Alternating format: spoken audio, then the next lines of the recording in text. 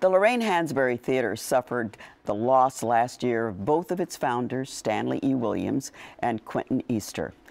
It also lost its theater home in downtown San Francisco in 2008.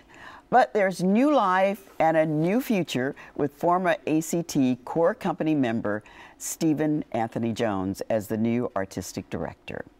Welcome very much uh, to our program, Steven. Oh, thank you, Belva. Um, to say that, uh, that the Lorraine Hansberry Theater went through a tough trial would be an understatement. So how does uh, a new artistic director pick up the pieces and keep moving? Well, uh, first of all, uh, the job was already in motion in, in, terms of keeping the theater going when, when I arrived. Uh, just like everyone else in the Bay Area uh, theater community, I was uh, shocked and, and, saddened by, by the loss of, of two very visionary and important uh, artists in our community. But uh, the board of directors at the Lorraine Hansberry was determined to keep the theater going and did that. Uh, by partnering with Berkeley Rep and ACT and then producing two shows on their own uh, by hiring a uh, new general manager, Shirley Howard Johnson, who uh, achieved the Herculean task of producing those two shows without, you know, really knowing how she would go about doing it. Our 30th season was completed. Uh, this is the last week of uh, our production of Lynn Nottage's Fabulation or the Re-Education of Undine at the Southside Theater. And uh, we're ready to embark on our 31st season. Why is this theater so important? Well, this theater is very, very important because in, in the overall uh, Bay Area mix, we are uh, the only African American uh, theater that has been producing for 30 years. This makes us one of the longest producing African American uh, companies in the country. And what Stanley and Quentin liked to say always was that uh, African American stories are American stories. And I think in saying that, what they're saying is that African American stories belong to all of us, whatever our background, wherever we may come from because we are such um, an important thread in the fabric uh, of, of American culture.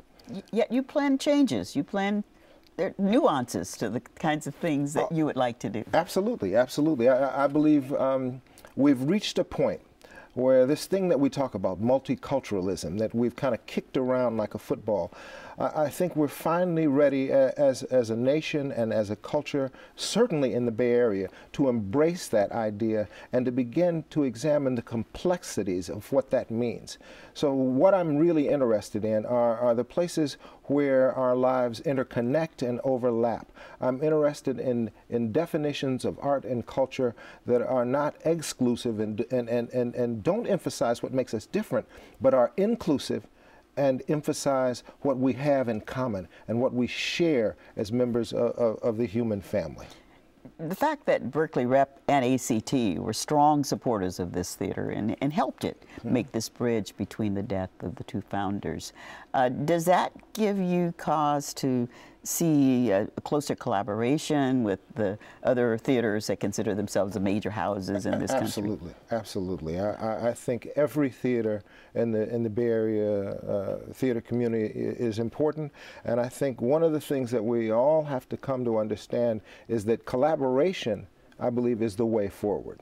Uh, we, we, in the past, it, it, was a kind of competitive, and we were over here, and the other theaters were over there, and they did their thing, and, and we did ours alone. But uh, we share a common audience. People who love the theater love the theater. Mm -hmm. And, and usually people attend more than one theater. Mm -hmm. And I'm going to look for every way that I can to collaborate with, with my sister theaters uh, all over the Bay Area. And, and like I said, I, I, I believe that also involves the very multicultural nature of, of the large community that is the San Francisco So the new season will be what? Well, the new season, we have four shows coming up. We're going to open the season with two one acts. Um, Almost Nothing by Marcos Barbosa and Day of Absence by Douglas Turner Ward will be the first offering. Uh, we'll have a new Christmas show called Rejoice by Ron Stacker Thompson. Local guy. Uh, yes, he started the Well, Oakland started- Ensemble started Theater. here as a local yes, guy, yeah. and um, our, our what is that? Our third show will be a piece uh, that I, I'm borrowing from uh, the English playwright Joe Penhall called Blue Orange, and our fourth show is by Pearl Cleage, Blues for an Alabama Sky. We're calling it something old, something new, something borrowed, and something blue.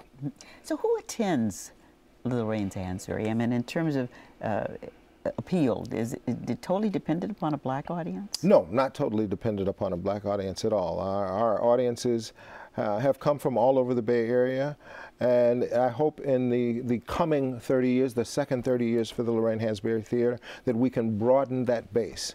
That's another reason why I look to collaborate with other theaters, theaters in the East Bay, uh, other uh, ethnically based uh, um, artistic organizations, and of course, my old artistic home, uh, the American Conservatory Theater.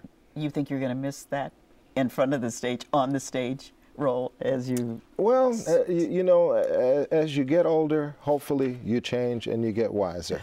and and I'm, I, I will miss uh, performing at ACT, but I know that I'll be able to work with ACT again in the future.